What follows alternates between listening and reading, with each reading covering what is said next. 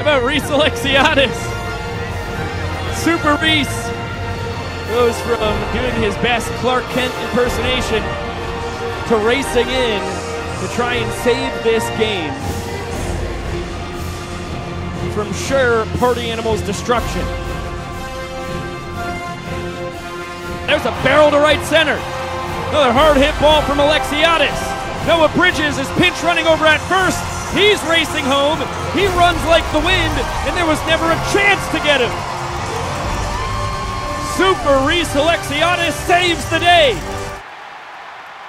If you like that video, you can check out more right here. And if you want to watch a full game, click over here. And if you like all this stuff, like and subscribe. But the full game is still over here. Correct, but we've got more videos right up here. I mean, the full game's pretty cool over here. See you